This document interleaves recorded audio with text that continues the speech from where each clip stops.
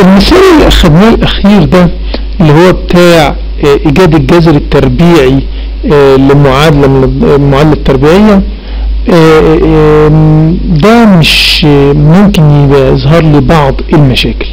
إزاي؟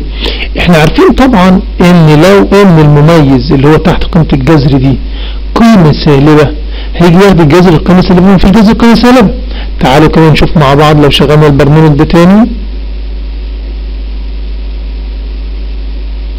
قائمة project execute على طول ما لسه عامل له compile يقول لي دخل ال coefficients بتاعت ال equation أنا هاجي أقول له واحد وواحد وتلاتة.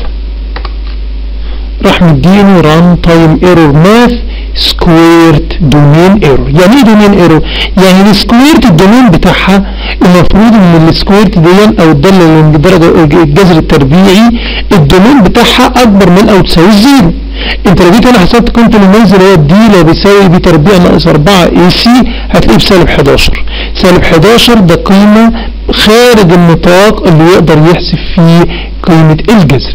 طب إيه الحل؟ أنا عايز أعمل برنامج كامل متكامل ما يبقاش فيه يحل مسألة أو مسألة لا. طب إيه الحل؟ الحل إن أنا هاجي المفروض أجي هنا بقى بعد ما حسبت قيمة الدي أسأله سؤال.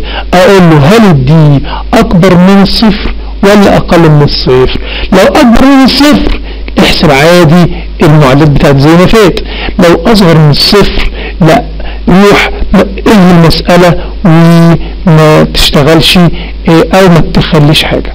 طب تعالوا نشوف إزاي بقى نقول له لو كان الدي أكبر من صفر أو أصغر من صفر ده اللي إحنا هنتكلم عليه بالنسبة للجمل الشرطية.